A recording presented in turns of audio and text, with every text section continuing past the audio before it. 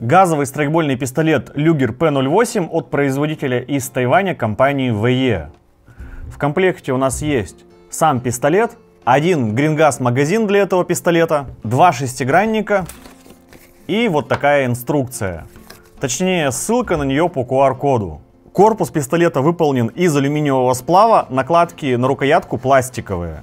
Штатные прицельные приспособления это мушка и целик, без возможности регулировки.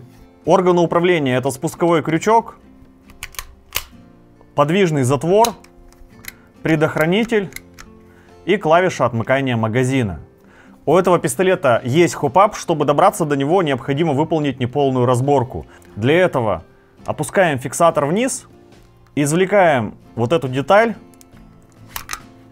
и снимаем ствол с верхней частью пистолета. Регулировка происходит с помощью вот этого винта, и именно для этого в комплекте есть шестигранники.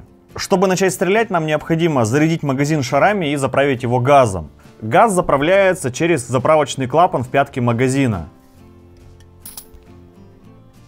Далее взводим затвор, затем примыкаем магазин и можно стрелять. Когда шары кончаются, затвор встает на задержку. Для этого пистолета подходят грингас магазины для Luger P08 производства VE.